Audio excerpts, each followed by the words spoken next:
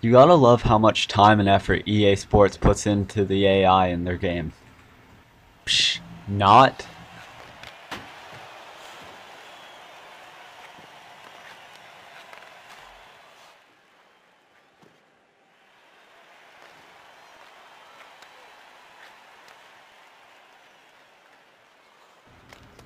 Here's a perfect example. Watch as the AI just stand there and my buddy's able to come in, grab the puck, shoot and score without an issue.